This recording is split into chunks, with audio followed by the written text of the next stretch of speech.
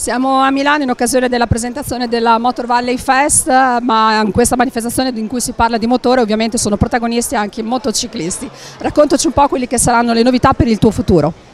Ciao a tutti, è un onore essere qua e partecipare a questo bellissimo evento. Eh, quest'anno sarà un anno impegnativo, parteciperò a tante gare, avevo già comunque confermato da tempo la Moto E nel mondiale e comunque parteciperò anche al CEV Moto 2 sempre appoggiato al team Gresini quindi è una bellissima opportunità e sarà importante comunque fare bene in prospettiva per tornare nel mondiale e mi impegnerò molto, adesso a breve partiremo con i test e ad aprile ci sarà già la prima gara, la Moto E invece partirà a maggio quindi niente sono carico, concentrato e vediamo di fare bene. Quindi ci confermi che la nostra Emilia Romagna è veramente terra di motori?